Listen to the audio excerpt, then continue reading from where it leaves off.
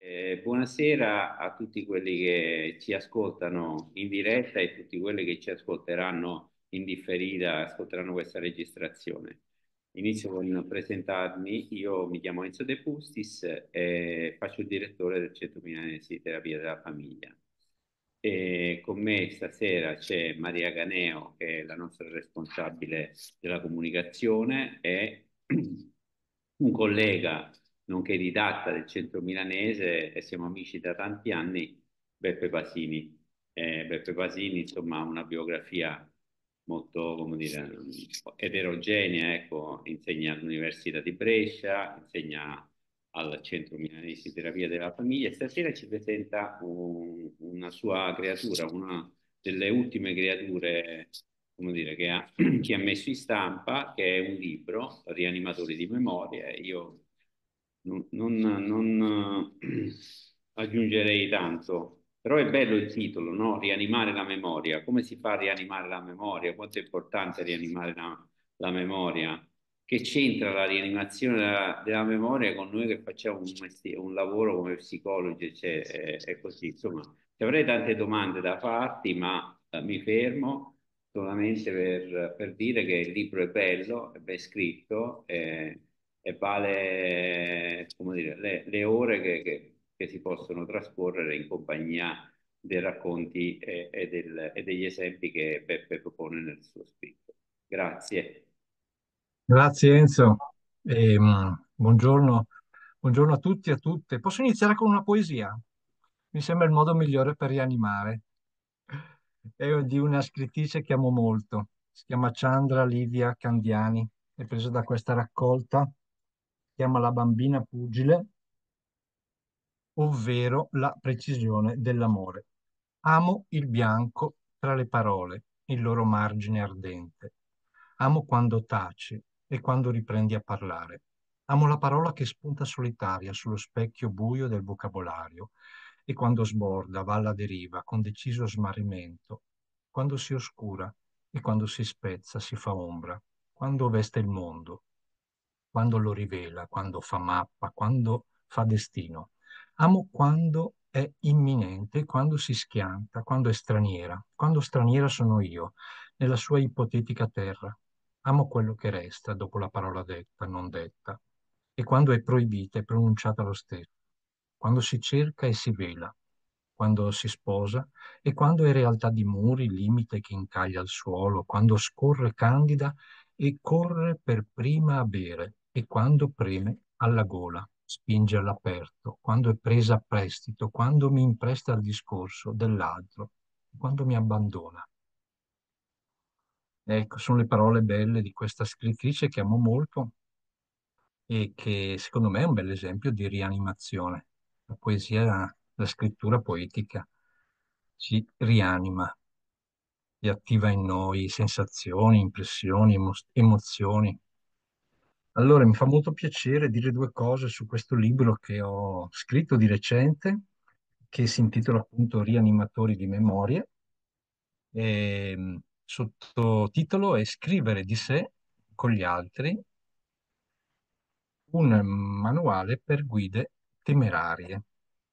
Ecco, che nasce per diverse ragioni. Ecco, direi la prima prima ragione per cui ho scritto questo libro era perché da tanti anni mi occupo di animare esperienze di scrittura in gruppo, in cui invito le persone a scrivere, a raccontare di sé, della loro vita.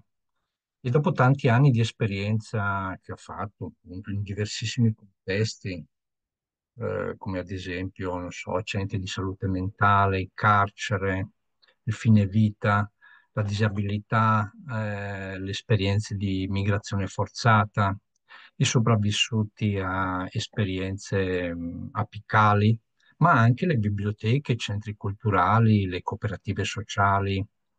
Ecco, e mh, ho sentito proprio l'esigenza di trovare una cornice di senso che potesse mettere insieme un po' queste diverse esperienze, accomunate tutte quante dall'esperienza della scrittura. Secondo motivo per cui è nato questo libro qua è quello, forse un po' poco modestamente, come è scritto anche nel titolo, di offrire un manuale. Io sono sempre stato un po' allergico in realtà ai manuali. Ricordo un manuale della scuola Radio Elettra che il mio babbo aveva comprato per fascicoli quando ero bambino e di cui andava molto fiero, no? E dentro c'era tutta una serie di procedure, di indicazioni, di informazioni su come montare le radio, smontarle, su come aggiustarle. Ecco, e, e così come tutti i manuali, insomma, illudeva della convinzione, boh, forse non era un'illusione, era una certezza, non so. Insomma, ecco, comunicava la convinzione, la certezza che mh, tutto quanto fosse realizzabile attraverso delle procedure, dei passaggi molto chiari, conseguenziali per arrivare a uno scopo. Allora io sono sempre stato un po' allergico a questo tipo di procedure, ma mi è piaciuto dare all'idea della procedura, del si fa così, ecco. Allora, però, ecco, il- il- la parola manuale l'ho intesa un po' etimologicamente, cioè da tenere in mano.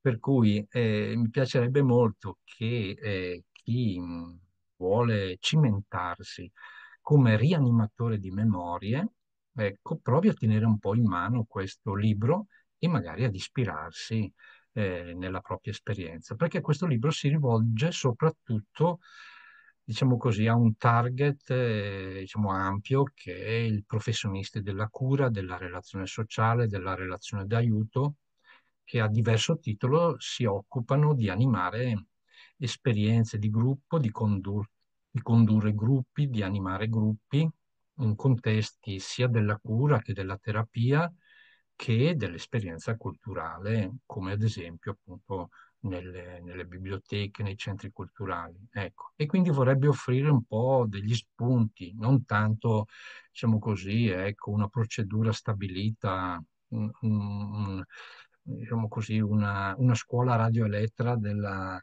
conduzione del gruppo, ecco, piuttosto ecco, delle- degli stimoli per ehm, allestire dispositivi narrativi è un po' questo ciò che accomuna questa esperienza, rivolti a gruppi di persone interessate a scrivere di sé e della propria vita.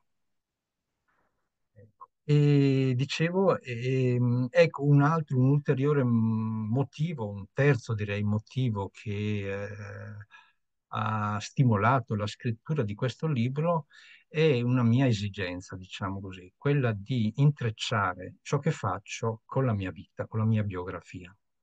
Eh, che è un po' diventata negli anni, diciamo, un po' anche la mia cifra stilistica, il mio modo di fare formazione, e il mio modo anche di fare didattica in tanti contesti, ad esempio il centro milanese, cioè nel tentativo di intrecciare ehm, ciò che siamo, ciò che abbiamo imparato, la nostra esperienza, il nostro modo di imparare, la nostra sensibilità con il nostro lavoro, attingendovi a piene mani. Però l'intento un po' in qualche modo di questo tipo di approcci, se vogliamo, che mh, eh, la letteratura chiama biograficamente fonda- fondati, è proprio quello di coniugare eh, appunto la propria, la nostra esperienza, ovviamente tutti quanti noi abbiamo un'esperienza che se vogliamo, la risorsa più grande della nostra vita, ma anche il limite maggiore. Ecco, intrecciare la nostra esperienza per farne in questo caso uno stile relazionale, un modo di prendersi cura delle persone, anche un approccio terapeutico, alla ricerca di un modo bello di stare in terapia o nella relazione d'aiuto o nell'intervento formativo, alla ricerca di un modo bello di fare il proprio lavoro. no? Mettiamola così. Ecco. E- ecco, questi qui sono un po' alcuni... Prego, sì. Ecco, fe- fermami pure Enzo, che sono, io sono un chiacchierone, vado un po' a rane. qualche, eh. qualche domanda e, e ne approfitto anche per invitare eh, i colleghi che sono connessi, eccetera, a, fa- a fare altrettanto, ecco, perché così la, come dire, la conversazione diventa più interattiva, più interessante. E, Certo, grazie. allora, Mm, tu dici è un, ma- è un manuale, quindi come nei, nei manuali ci sono anche delle indicazioni a volte si trovano, no? Beh, ecco, la, la domanda che mi verrebbe da fa- che mi viene da fare è quali sono i contesti, le cornici, le cornici dove secondo te è stato più semplice rianimare la, la memoria e dove invece hai incontrato difficoltà? O si, si potrebbero incontrare difficoltà?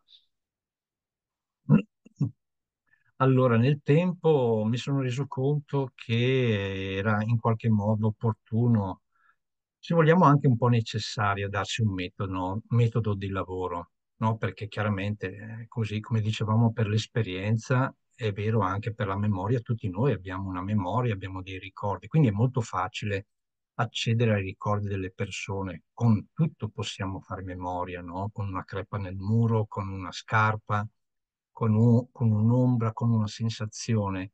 E la questione, se vogliamo, era, ecco, che cosa farne poi, ecco, delle storie che emergono, come prendersene cura, che tipo di contesti allestire, anche con quali scopi, con quali obiettivi, per quali destinatari, ecco.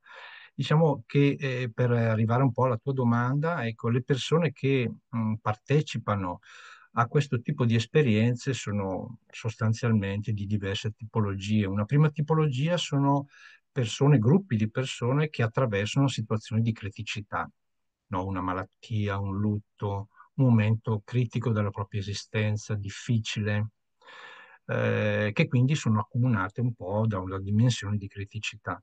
Un'altra tipologia sono persone che sono indicativamente curiose, interessate di fare un'esperienza di scrittura che magari praticano già la scrittura autobiografica, la scrittura di sé, la scrittura poetica, un po' come eh, in esordio, ecco, che amano scrivere, ma che magari non hanno mai sperimentato un'esperienza di questo tipo in gruppo, che è molto diverso ovviamente che scrivere eh, da soli.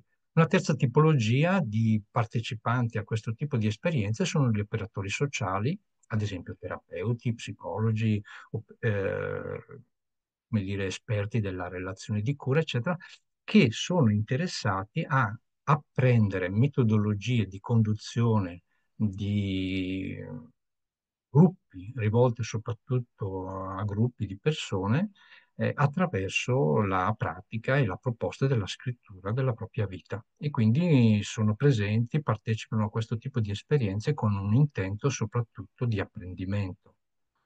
Ecco, dicevo che negli anni questo mi ha un po' invitato a mettere a fuoco, diciamo così, una metodologia, cioè dei passaggi che- di cui poi parlo nel libro, ecco, che presento nel libro, dei passaggi che ritualmente si ripropongono nell'esperienza e dell'animazione di dispositivi narrativi, non necessariamente con la stessa sequenza, ma che sono come degli ingredienti, dei buoni ingredienti che nel tempo sento che mi hanno aiutato e tuttora mi aiutano, insomma, ecco, sono di stimolo, fanno un po' da cornice nella conduzione di esperienze di questo tipo. E che mh, tematizzo e che espongo poi anche nel libro, motivandone anche il- la, la- la proposta, la successione, il significato, e, e che ho chiamato cinque movimenti più uno, e sostanzialmente li riassumo molto brevemente. Ehm, C'è un primo movimento che è un esordio poetico, spesso gli incontri vengono introdotti con una breve lettura poetica o letteraria sull'argomento, sul tema di cui ci si sta occupando, e poi c'è un momento di scrittura in cui le persone vengono invitate a scrivere. Eh, le persone partecipano a questo tipo di esperienze sapendolo già prima, ecco, non è un'imboscata, no? Per cui le persone arrivano e non sanno che cosa si sta facendo. Ecco, una buona pratica, un buon accorgimento che ho adottato in questi anni è quello di informare in modo molto dettagliato le persone che si tratterà di un'esperienza in cui verrà proposto, in- saranno invitate, perché ovviamente si tratta di questo, di inviti, di proposte, no? Nessuno obbliga nessuno. Però è bene che le persone sappiano che uno di questi inviti consisterà in una proposta di scrittura. Ora, tutti quanti noi ovviamente sappiamo scrivere. Ecco, ci tengo a dire e a chiarire in questo tipo di esperienze che non è una palestra per scrittori, non è una scuola per imparare a scrivere. Tutti quanti scrivono come lo ritengono opportuno, con le parole che vogliono, con il proprio stile, eh, con la quantità che desiderano, quindi una, 15, 150 parole, ecco, è, è assolutamente libero, ecco, come possibilità. E, eh, e poi eh, quindi c'è un momento di scrittura in cui li scriviamo insieme, quindi c'è un momento molto bello anche dal punto di vista anche fisico, mi piace molto questo momento qui perché ovviamente anche i corpi si inchinano verso il foglio, il più delle volte si tratta di un foglio, a volte si tratta di una tastiera del PC e sembra quasi che le vite di ognuno, mi piace pensarla così, si adagino sul foglio, sui quaderni, no? Sulle, eh, sugli schermi dei PC. Ecco. E i mondi interiori di ognuno, i racconti, le storie, le brevi rievocazioni, perché si tratta sostanzialmente ecco, di tempi anche abbastanza limitati, 20 minuti. Ecco, do all'interno di questo tipo di esperienze detto un po' anche i tempi, perché ho visto che avere un tempo sufficientemente circoscritto aiuta le persone a organizzare la stesura dello scritto, della scrittura. Ecco. E dopodiché eh, c'è un momento, ci sono due livelli di riflessione, ecco, in cui invito le persone a rileggere, a, sì, a ripensare, ma soprattutto a rileggere silenziosamente ciò che hanno scritto e a porsi delle domande del tipo, ecco, perché ho rievocato questo momento della mia vita, che significato ha per me, che emozioni mi trasmette, cosa mi fa sentire, cosa mi fa provare. Ecco, ecco, domande stimolo di questo tipo qua e un passaggio successivo in cui le persone sono invitate a condividere ciò che hanno scritto. Anche questo è un momento molto bello, anche molto, molto intenso, spesso molto emozionante, dipendentemente un po' dagli argomenti, ma diciamo che ogni argomento è intenso perché attinge profondamente, noi che facciamo questo mestiere lo sappiamo, alla vita delle persone. Ecco, non si tratta tanto della vita in generale, ma della vita eh, viva e concreta delle persone, per cui a volte si parla del, non so, con gruppi di insegnanti si parla ad esempio di quella volta che ho imparato o di un insegnante indimenticabile della mia vita o di un insegnante che ha lasciato il segno eh, per, eh, non so, mi vengono in mente tanti esempi, per persone ad esempio che hanno vissuto situazioni di migrazione forzata, eh, la proposta potrebbe essere, come è stato anche in diverse occasioni, quello di rievocare la casa dove si è nati. È chiaro che una domanda, una sollecitazione di questo tipo fatta a un gruppo di persone, che ne so, che sono utenti di una biblioteca ha un significato, fatta invece a un gruppo di persone che hanno vissuto, stanno vivendo un'esperienza dolorosa, drammatica di migrazione forzata, ovviamente ha un'altra implicazione. Quindi vuol dire anche riprendere contatto con delle memorie dolorose, difficili, complesse. Ecco. Eh, e quindi in questo senso darsi un metodo mi ha aiutato, ritengo che aiuti comunque in generale chi si addentra, ecco perché il sotto sottotitolo è le guide temerarie, chi si addentra in modo un po' temerario nella vita delle persone debba avere un'idea di come uscirne vivi, possibilmente vivi, ma anzi magari con una con uno stimolo, con un'emozione, con una bellezza in più da quando, di quando si è entrati, insomma, ecco. E poi c'è un momento di pratica filosofica, dopo questi momenti, questi passaggi di scrittura e di riflessione, c'è un momento di pratica filosofica in cui appoggiamo le biro, se abbiamo le biro, o eh, mettiamo da parte le tastiere e condividiamo idee. Eh, anche qui, eh, questo momento qui è animato dal conduttore con una domanda iniziale, no? che potrebbe essere una domanda che aiuta a pensare insieme. Ad esempio, se si parla di apprendimento, la domanda potrebbe essere, ecco, in base a quello che abbiamo scritto e raccontato, cosa vuol dire imparare? Ecco. Oppure può essere eh, una domanda o delle riflessioni relative all'esperienza della scrittura stessa. Ad esempio, che cosa sentiamo che impariamo quando scriviamo di noi? No? Oppure ancora se si parla dei sensi, del ricordare, del raccontare, quali sensi sollecita, no? Eh, possiamo chiederci, ecco, la scrittura di sé, ecco, oltre a quelli noti, tatto, vista, gusto, olfatto, udito, e vengono fuori delle riflessioni molto belle, delle condivisioni molto belle, una sorta di mente collettiva, potremmo dire, no? Eh, oppure anche evocando un'immagine che mi piace molto di Daniel Stern, che è un neuroscienziato che cito nel libro, di menti che si accarezzano, ecco, nel quale c'è proprio una festa delle idee. L'idea è proprio quella, lo stimolo il, l'animatore, ehm, come dire, sollecita eh, la conversazione a più voci, eh, arricchendo eh, appunto le diverse prospettive, i diversi punti di vista, per poi concludere con un momento anche qui, o poetante, in cui invito le persone a, a un momento di scrittura poetica con la quale ci lasciamo e con la voglia di ritornare.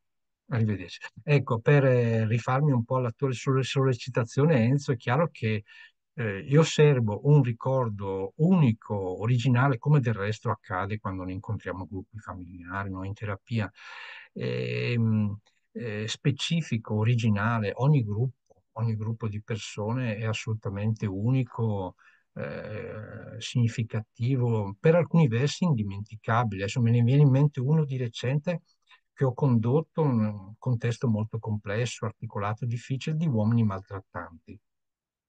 È stata un'esperienza che abbiamo fatto con dei gruppi di uomini autori di reati, eh, di maltrattamento, di violenze domestiche, che partecipavano a questa esperienza di rielaborazione del reato in una condizione coatta o semicoatta, come abbiamo, li abbiamo chiamati spintaneamente, una presenza spintanea e quindi chiaramente la complessità eh, lì si è acuita particolarmente, non si trattava di persone che chiedevano di partecipare a un'esperienza, ma che venivano obtorto collo, spesso un po' quasi semi o caldamente invitati a parteciparvi dall'ufficio di esecuzione penale esterna del Tribunale.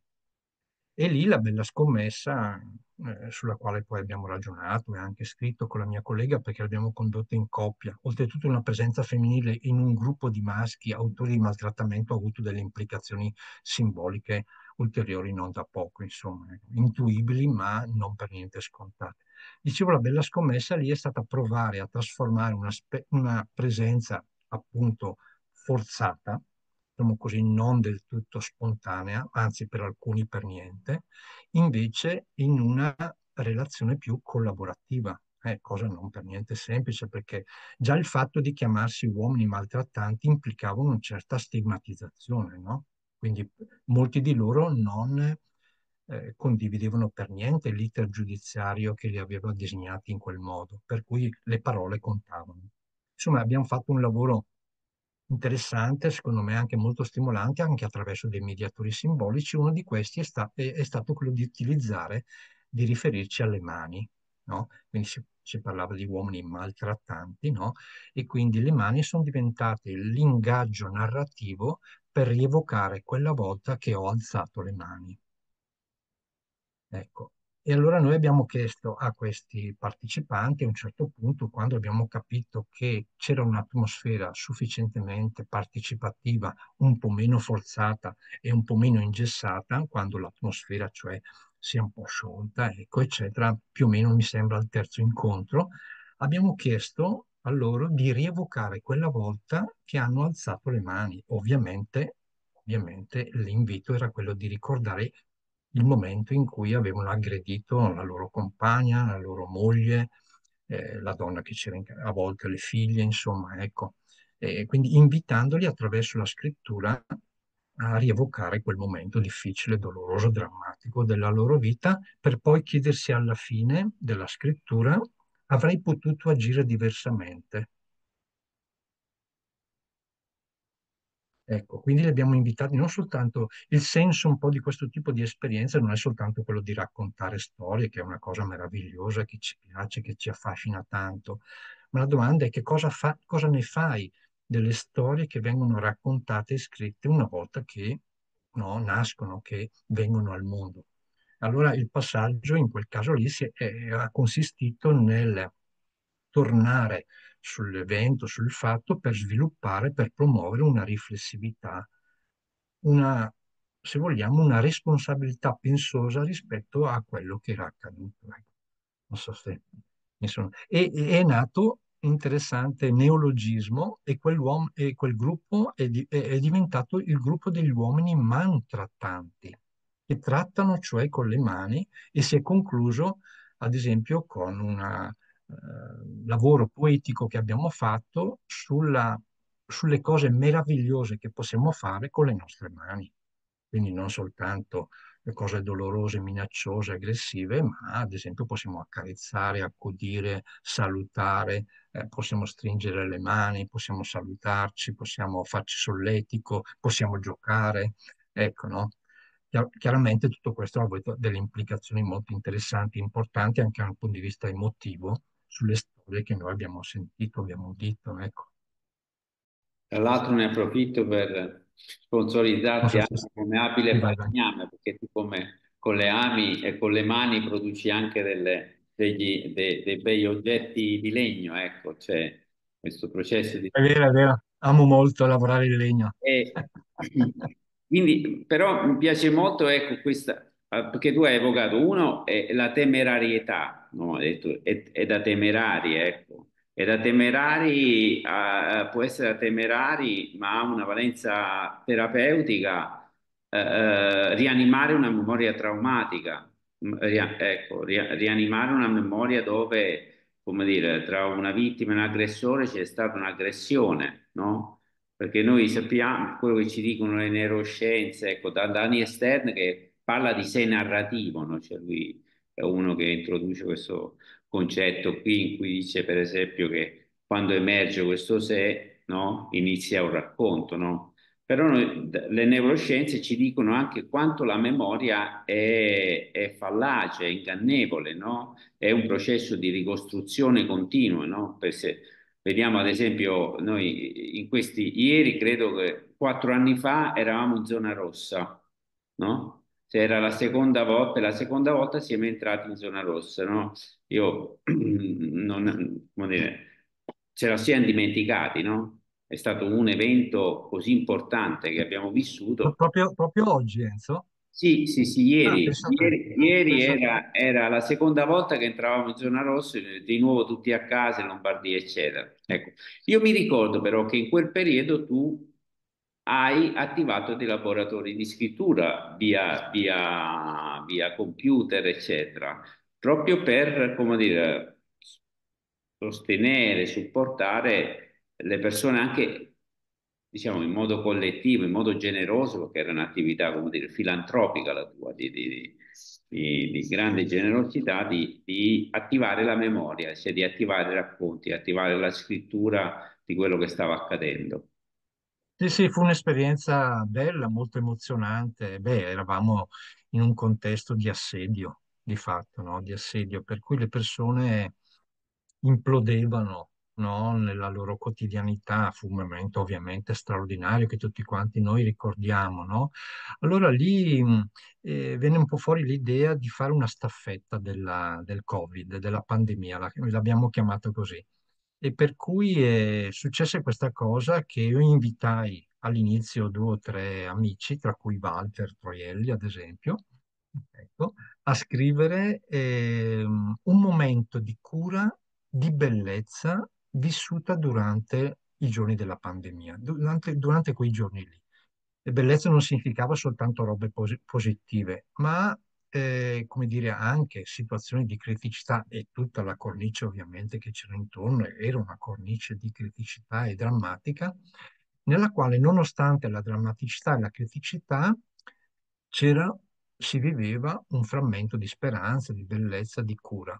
E così venne fuori un gioco molto bello in cui chi eh, scriveva una pagina di diario poi nominava un'altra persona invitandola a continuare. E venne fuori un eh, diario scritto a più mani, più di eh, 70 persone, che composero, diciamo così, un racconto a più mani, a più voci, a più sensi, a più cuori di quell'esperienza, ecco, eh, raccontando la loro quotidianità, un frammento di bellezza nonostante quello che stava accadendo. E poi facemmo un incontro finale online in cui eh, Walter suonò la chitarra e noi, eh, chi lo voleva, chi lo desiderava, ecco, eh, condividemmo i nostri scritti, eh, ci fu addirittura un PDF che poi raccolse gli scritti di tutti eh, e, e ce lo regalammo, ecco, e fu molto bella un'esperienza di cura, di consolazione, di accudimento, eh, di resilienza in tutti i sensi, insomma, ecco, che ci aiutò ad affrontare quel momento critico. Vennero fuori, tra l'altro, poi, come spesso accade, eh, eh, diceva anche no, una grande scrittrice no, di esperienza come Alda Merini, diceva che in nessun posto come nel manicomio aveva amato, No, paradossalmente, da genio qual era, eh, lei era riuscita a trasformare una condizione di afflizione, di sofferenza, di dramma in tutti i sensi, come la vita al Paolo Pini, ecco, in un'occasione di ispirazione poetica. Eh, venne fuori in quella esperienza lì, in quel momento lì della pandemia, che tantissime persone coltivavano esperienze estetiche. Per cui c'era gente che dipingeva, che scriveva, che scolpiva il legno, come nel mio caso, insomma, ecco. In effetti ci dicemmo che l'esperienza estetica, usare le mani per produrre qualcosa di bello, è una straordinaria esperienza di resilienza e di resistenza. Per cui vennero fuori diverse altre esperienze di laboratori di scrittura. Me ne ricordo una molto bella che fu molto coinvolgente, intitolata Lettere d'amore da una città sotto assedio, e, ispirata all'Iliade di Omero, e alla vicenda della città di Troia, e in cui le persone che vi partecipavano, una quindicina circa, scrivevano delle lettere a delle persone amate, sia viventi che non più viventi, morte, raccontando la loro vita, chiedendo a, a loro volta, insomma dialogando con le persone amate. Ecco, lettere d'amore da una città sotto assedio che era evidentemente il riferimento alla situazione che stavamo vivendo. Ecco, questo per dire che la scrittura, l'esperienza della scrittura e dello scrivere di sé, del proprio rapporto col mondo, è un'esperienza di cura, un'esperienza attraverso la quale creiamo senso, costruiamo senso, diamo significato, anche se si tratta di una versione ovviamente sempre parziale e momentanea. No, sono assolutamente d'accordo quando dicevi Enzo che eh, la memoria è fallace. No? Allora una delle regole, boh, regole comunque delle ecco, condizioni che propongono i laboratori è questa, no? È quella di fregarsene della, fregatevene della verità. No? Dico, uso un po' questa formula qua, no?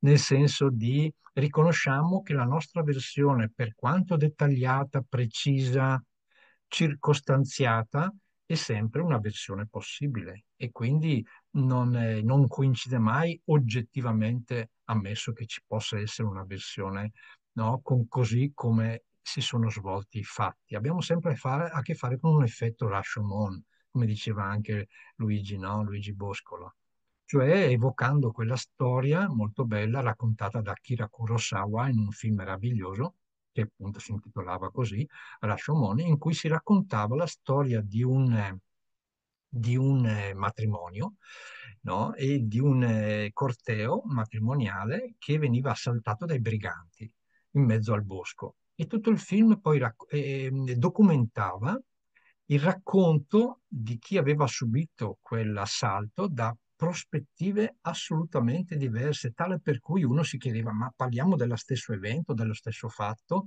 no? moltiplicando i punti di vista, i racconti, le opinioni, i vissuti, esattamente come quello, come quello che ci accade quando incontriamo una famiglia, una coppia, ecco, quando ci occupiamo delle storie delle persone in terapia. Insomma, abbiamo sempre a che fare con versioni diverse. Io credo che questa sia una straordinaria possibilità, una grande, grandissima risorsa. Ecco, per cui nei laboratori evidenzio questo aspetto.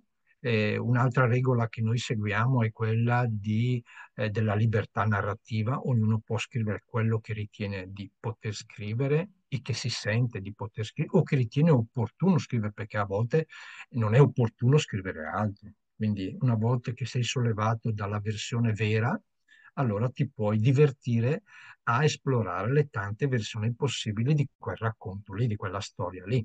Ecco. Un ulteriore vincolo che propongo è quello del primato ermeneutico, cioè che lo scrittore, l'autore del testo è l'esperto.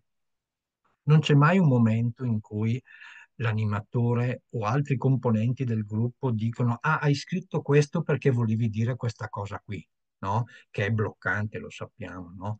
mentre invece si ribadisce come fondamentale che è proprio l'autore, sono io che scrivo che do senso a ciò che ho scritto. Ecco. Quindi sono io il titolare della mia scrittura, insomma. Ecco, questo vuol dire anche sollevare, ehm, sollevarsi dal giudizio, dal giudizio morale, intendo dire quello che i greci chiamavano epoche, no? il, solle, il sollevarsi dal giudizio, dalla valutazione. Ecco, in questo senso. E vedo che questo aiuta molto le persone anche a praticare una libertà narrativa. a godersi il paesaggio, ecco, a, a fare un'esperienza di piacevolezza, anche se i temi, se gli argomenti a volte sono drammatici, difficili, ecco, complessi. Eh, io mi ricordo diversi laboratori che ho tenuto in carcere, Ecco, per cui sappiamo bene che lavorare nelle istituzioni totali, come ad esempio negli ospedali psichiatrici, nelle eh, comunità d'alta protezione, così anche con i detenuti, ha ovviamente delle implicazioni che ribaltano assolutamente una proposta di scrittura che potrebbe invece avvenire al di fuori di quel contesto lì. Insomma, ecco, dicevamo prima per la casa dove si era nati. Eh, ugualmente per quanto riguarda ecco, le esperienze, non so, della, eh, della detenzione, della carcerazione, eh, i temi della libertà, ad esempio, no? Un'esperienza molto bella che facemmo in un carcere vicino a Brescia che si chiama Verziano, che è il paese di Verziano, e ragionare sul tema della libertà, constatando, constatando quante occasioni o quante condizioni di prigionia ci fossero nella vita ordinaria e quante condizioni di libertà ci fossero nella vita in carcere, giocando un po' a ribaltare no, i mondi e eh, poi sperimentando a un certo punto eh, un gioco poetico in cui provammo a fare un elenco di parole che avremmo voluto liberare da quella situazione, da quel contesto lì. Mi ricordo che le scrivemmo su dei foglietti le pieghiamo e poi le eh, facciamo passare attraverso le sbarre della finestra per delle evasioni semantiche. Grazie Beppe. Io sottolineerei nel, tra le parole che tu utilizzi ecco, per, per descrivere queste esperienze due, due parole. Una è la dimensione estetica, no? Che in un certo qual modo traspare quando tu dici godiamoci il paesaggio, ecco, e, e quindi cioè, godersi il paesaggio del seno, del sé che si racconta, no? che è straordinariamente estetico e straordinariamente bezzoniano, no? perché, ecco, sempre più anche come CMTF, eccetera, c'è stata questa riflessione sull'estetica della, della terapia. E poi c'è un'altra dimensione, eh, diciamo, che si raccoglie da queste due ultime, mh, mm, come dire, eh, parole, ma anche da, da, un, dire, da, un, passaggio che hai fatto prima, eh, che è la dimensione etica. Ecco, la dimensione etica quando eh, dici, eh, dice, il vero esperto del racconto è, è, è, chi, la, è, chi, la, chi, lo scrive, no? il racconto. E, e, quindi se questo mi fa pensare anche a, a, una grande scrittura che noi compiamo tutti i giorni senza scrivere, no? la facciamo di notte con i sogni, no?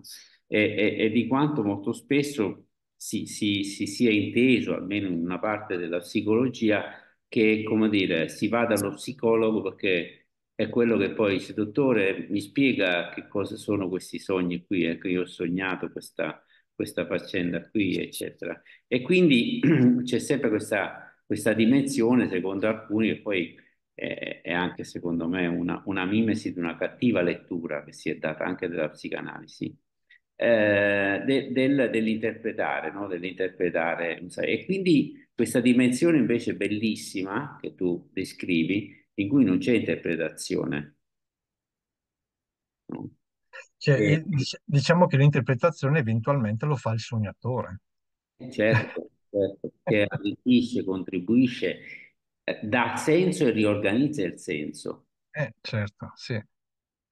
Anche perché questo credo che sia una straordinaria occasione di apprendimento, no? Se lo, se lo do io l'interpretazione, che imparo?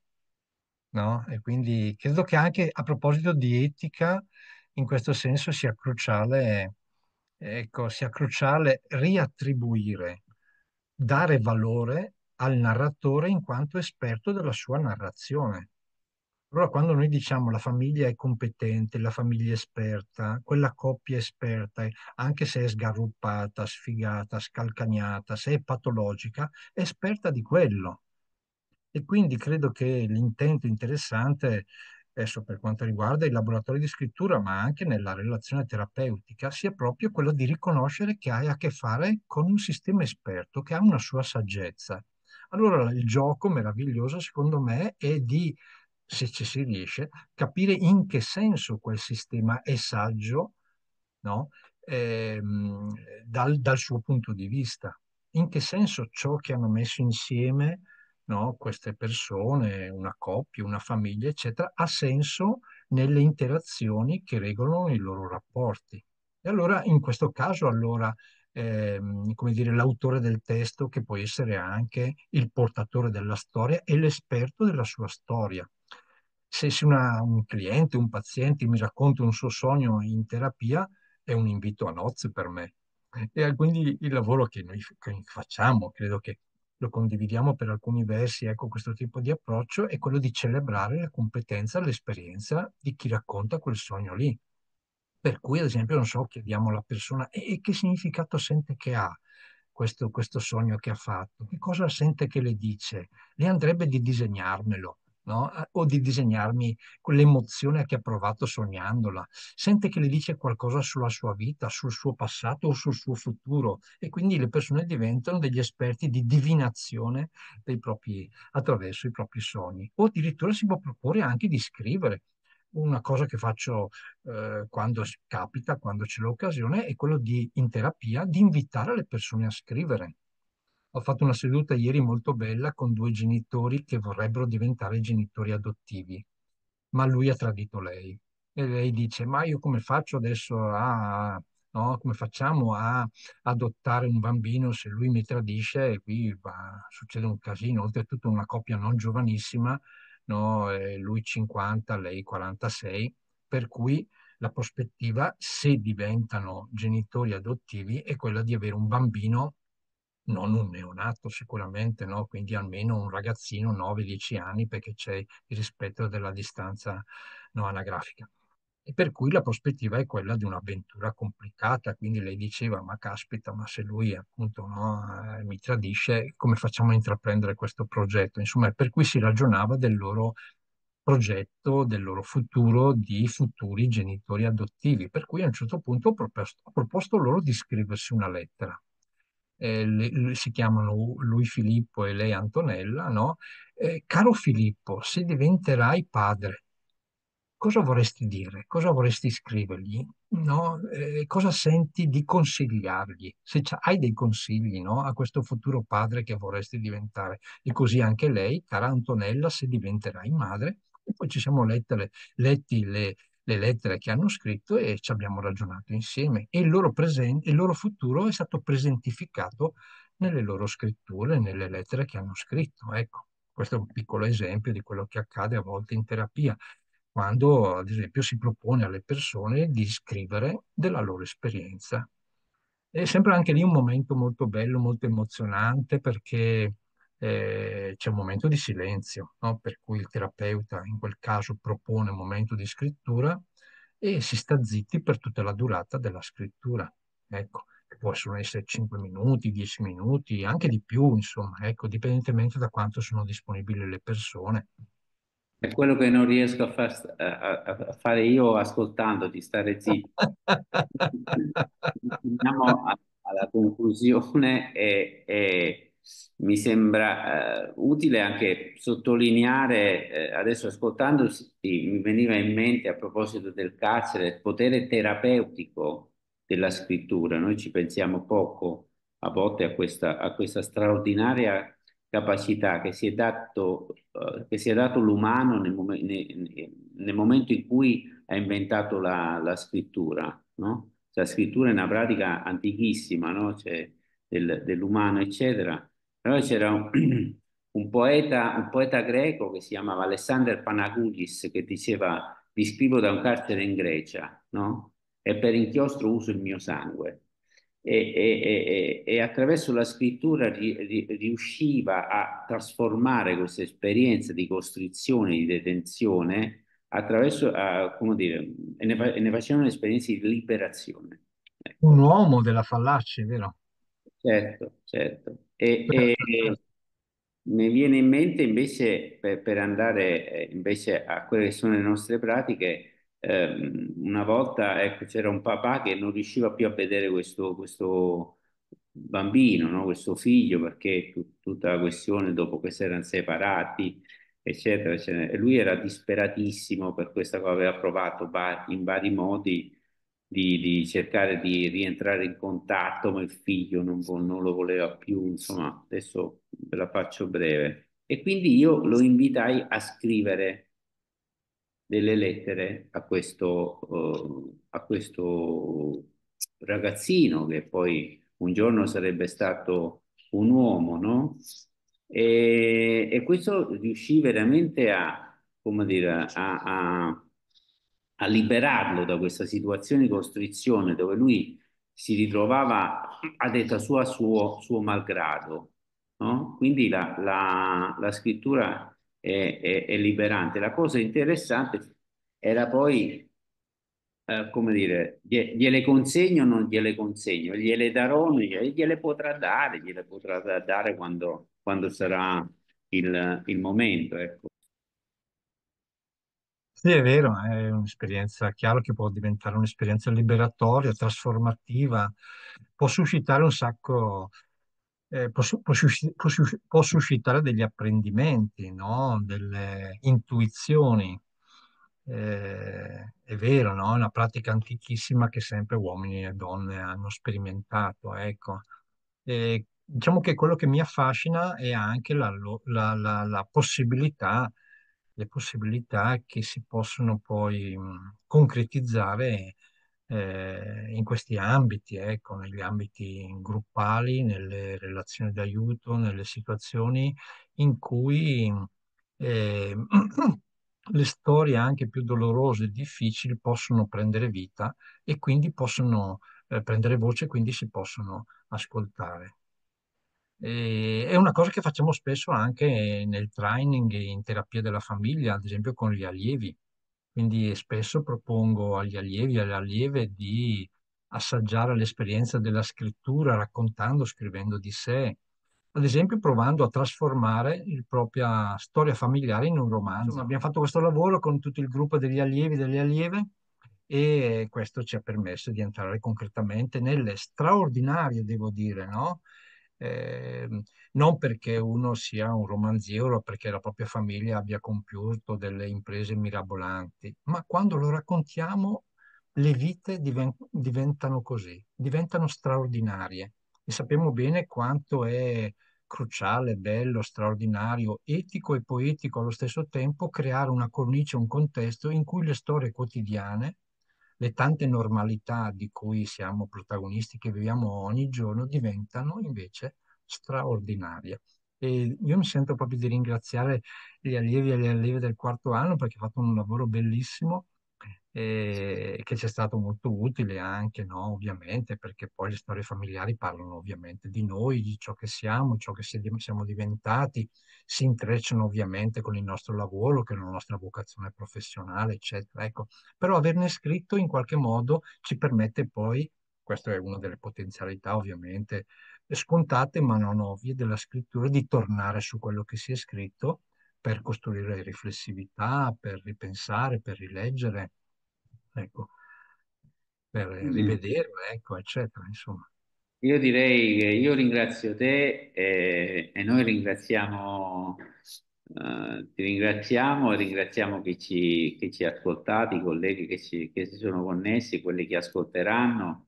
Mi sembra che sia stata una bella conversazione e anche molto stimolante, sia innanzitutto per leggere il libro e poi, non so, per, ecco, per, per partecipare a queste esperienze che, che e MTF o altri, ha anche in altri contesti e perché no, sperimentare questa, questa proposta, come dire, di manua- manua- manualizzata che tu, come dire, proponi, manualizzata, non manualizzata, ecco, Usando le mani. usando le mani. Posso salutarvi con una poesia, Enzo? Vai. Eh? È sempre di Livia Candiani, eh? Questa poetessa meravigliosa buddista. Siamo nuvole.